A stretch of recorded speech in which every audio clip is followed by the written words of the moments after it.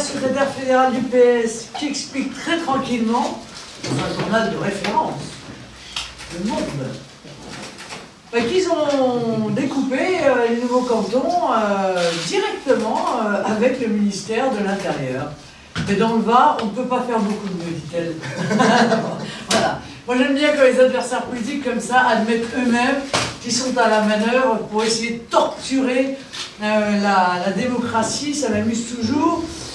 Oh, de la même manière qu'il m'amuse de voir que les modifications des modes de scrutin, qui ont été là aussi crachés sûrement par des ordinateurs ultra perfectionnés, euh, vont probablement euh, contribuer euh, au début de la fin du Parti Socialiste.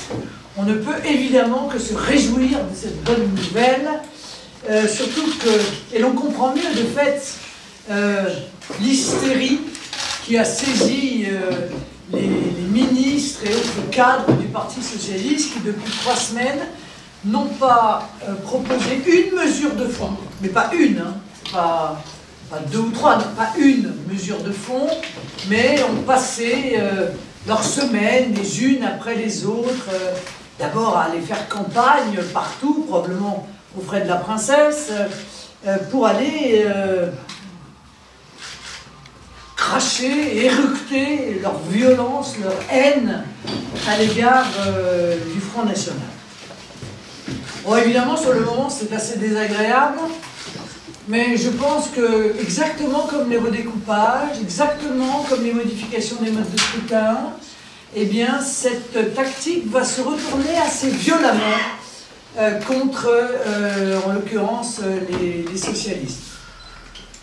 Je pense que les Français en ont soupé euh, de se faire donner des leçons de patriotisme par M. Valls, qui euh, croit pouvoir être assez légitime pour déterminer qui est la France et qui n'est pas la France. Je pense que concernant Manuel Valls, euh, ceux qui l'ont le mieux jugé, ce sont euh, les sympathisants du PS. Il lui avait accordé 6% pendant la primaire.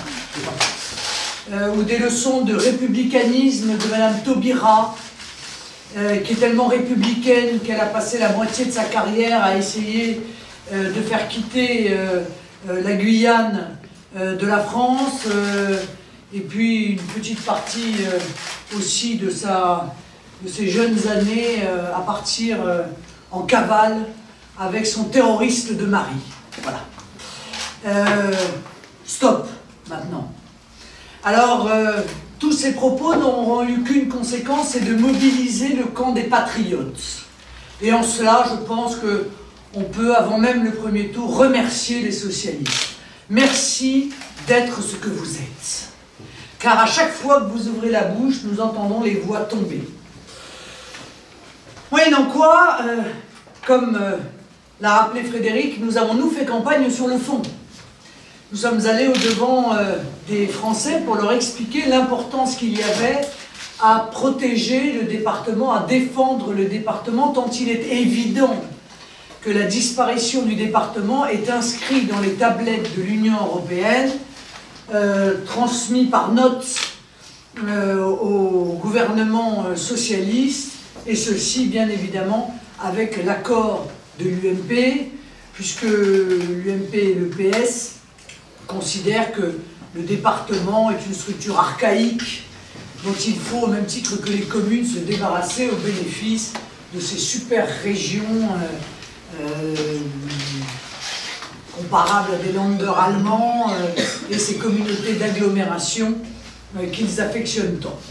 Nous, nous défendons le département, nous le défendrons jusqu'au bout, et puis nous serons nombreux à le défendre, et mieux nous nous porterons, et surtout mieux la France se portera, car on sait très bien quelle sera la conséquence de la disparition du département. Une fois de plus, la relégation de ceux qui n'auront pas la chance d'être dans les grandes communautés d'agglo, dans les grandes capitales des grandes régions, hein, qui euh, verront, eux, les équipements, euh, l'argent de la politique de la ville, euh, les services publics, pendant que la ruralité, elle, verra la désertification, l'aggravation du chômage, le départ des entreprises et des commerces, le départ des services publics et accessoirement l'immigration qu'on viendra leur coller parce que comme les centres sont saturés, il bah, faut bien les mettre quelque part. Voilà.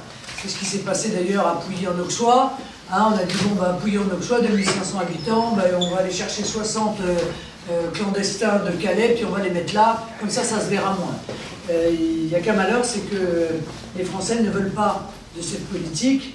Pas plus d'ailleurs qu'ils ne veulent de la continuation de la politique d'austérité, pas plus qu'ils ne veulent un système économique qui ne cesse d'entraîner de plus en plus de chômeurs mois après mois, pas plus qu'ils euh, ne veulent des grandes déclarations de lutte contre le fondamentalisme islamiste, euh, mais qui euh, n'ont rien vu de concret sortir de la besace du gouvernement. Il n'y a pas un seul domaine dans lequel on peut donner à ce gouvernement, pas plus d'ailleurs qu'à celui qui l'a précédé, le moindre satisfait. C'est vrai que le fond, je n'ai jamais vu, vécu une campagne comme ça. je vous le dis euh, sérieusement, jamais je n'ai vécu une campagne où on ait abordé aussi peu le fond. Euh, jamais euh, je n'étais aussi peu interrogé sur le projet pour les départements dans les différents médias que j'ai pu faire dans cette campagne. Il a donc fallu nous battre pour expliquer aux Français que nous voulions lutter contre la fraude au RSA, euh, revaloriser euh, l'allocation euh, personnalisée pour les personnes âgées, aider les familles et les, personnes handicapées, développer la sécurité dans les collèges, si tant est que les collèges soient encore une compétence du département, lutter contre les atteintes à la laïcité, la multiplication des revendications communautaristes, lutter contre la gabegie généralisée pour pouvoir faire des économies et mettre en place précisément euh, cette euh, politique. Alors évidemment, je conçois que la classe politique française soit très inquiète, car la diffamation a vécu, celle qui consistait pendant la campagne municipale, j'étais venu ici à cette même table d'ailleurs, euh, à nous expliquer que l'arrivée euh, du Front National à la tête des municipalités serait une catastrophe, euh, serait dramatique, engendrerait toute une série de mots divers et variés. D'ailleurs, souvenez-vous, Toulon, oh, qu'est-ce qu'on en a entendu parler, Toulon? Eh bien, le problème, c'est que la réalité s'est invitée, et assez rapidement, et au bout d'un an, eh bien, les études d'opinion démontrent que les habitants des villes qui ont gagné le Front National sont très satisfaits de la politique qui y est menée, très satisfaits de leur maire, très satisfaits de l'usage de leurs impôts, très satisfaits parce que les engagements ont été tenus, euh, très satisfaits parce que la sécurité a été euh, améliorée. Alors euh, la diffamation a vécu, hein, a été emportée comme un fétu de paille en pleine tempête et la réalité de la bonne gestion des maires Front National, de la satisfaction des habitants, suscite évidemment dans la classe politique une grande inquiétude, car et s'il faisait, euh, s'il pouvait gagner un département, le Front National, et faire à nouveau la preuve au niveau des départements qu'ils sont capables d'enrayer la folie fiscale et l'augmentation ininterrompue des impôts, euh, de maîtriser l'endettement qui, année après année, pèse sur les épaules des habitants des départements, ah, ce serait bien gênant. Eh bien, j'espère qu'une chose, c'est que c'est exactement ce qui va se dérouler. Je le souhaite de tout mon cœur. En tout cas, ce qui est sûr, c'est que nous allons avoir beaucoup de conseillers euh, départementaux, que nous allons probablement faire un très bon score dès le premier tour, être présents dans un très grand nombre euh, de second tour. Et ceci démontrera d'abord que la tentative de rediabolisation du Front National euh, a été un échec total et que euh, M. Valls euh, devra probablement euh, quitter son poste. Car lorsqu'on s'engage comme il l'a fait dans une campagne avec autant de violence et en même temps autant d'énergie, eh bien on est obligé d'en tirer les conséquences. Or, je pense que le Parti Socialiste va prendre une bonne fessée électorale et partant de là, sauf à considérer que la démocratie n'a plus cours en France, je vois mal comment le président de la République pourrait ne pas tirer les enseignements de ce énième scrutin, énième scrutin qui, depuis son arrivée au pouvoir, exprimera le désaccord profond des Français avec la politique qui est menée. J'aurais du mal à vous parler de l'UMP euh, parce que le moins qu'on puisse dire, c'est qu'ils sont totalement absents de cette campagne. Euh, Bon, certes, on entend deux, trois vacheries de la part de Nicolas Sarkozy à droite à gauche, euh, sa volonté de synthèse. M. Hollandise beaucoup, je trouve, en ce moment. Entre la synthèse et. Il y avait Monsieur Petite Blague et là il y a Monsieur Petite Vacherie. Euh, il n'y a, pas beaucoup eu de fonds, il faut dire, euh, de la part de, de la part de l'UMP.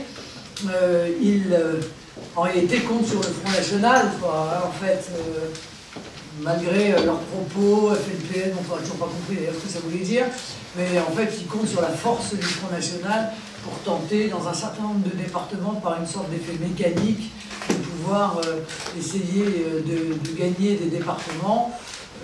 C'est l'hommage du vice à la vertu, je ne vais pas me, féliciter de cela, mais je ne vais pas non plus en pleurer. Ce qui est sûr, c'est que le seul vote qui est capable de créer euh, un, tremblement de terre politique, c'est le fond, quoi. Il ne faut pas se raconter l'histoire. Euh, d'ailleurs, le Parti Socialiste se moque totalement de savoir quel sera le score de l'UMP. Il s'en moque totalement. Euh, ça ne bougera, ça ne les fera pas bouger d'IOTA. En revanche, la puissance du vote Front National Rassemblement Bleu Marine sera l'élément majeur de cette élection.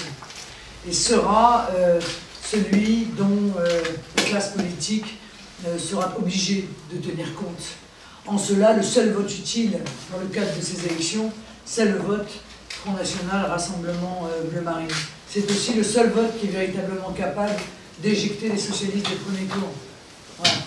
Donc ceux qui veulent euh, en même temps changer de politique, se voir appliquer une politique différente et exprimer leur désaccord avec la politique menée, savent maintenant ce qu'il leur reste à faire, se déplacer dimanche, surtout pas rester à la maison. C'est euh, des choses, mais se déplacer pour aller mettre un bulletin bleu marine euh, dans, dans l'urne.